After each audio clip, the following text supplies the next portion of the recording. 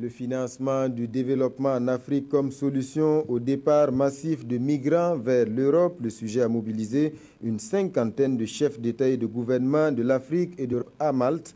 Les travaux ont débuté hier en, en présence du président du FASO, Michel Kafa, qui a partagé avec ses pairs l'expérience du Burkina, Yacouba Gamene, Aboubakar Sayon.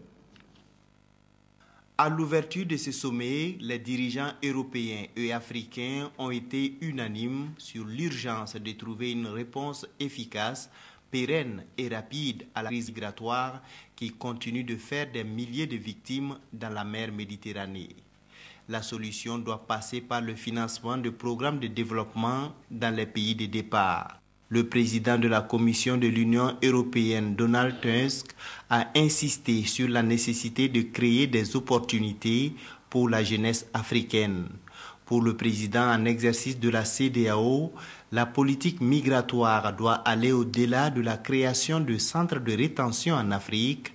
Macky Sall a invité les Européens à soutenir davantage les efforts de développement des pays africains. Selon la présidente de l'Union africaine, Kozazana Lamini Zuma, la lutte contre l'immigration illégale est avant tout une lutte contre la pauvreté, l'insécurité et l'instabilité politique dans certains États d'Afrique.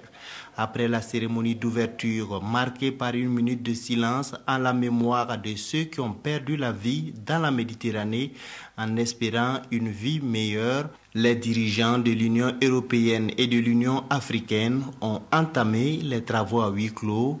Ces échanges devraient aboutir à la signature d'un accord devant permettre de mettre fin au fléau que représente l'immigration illégale.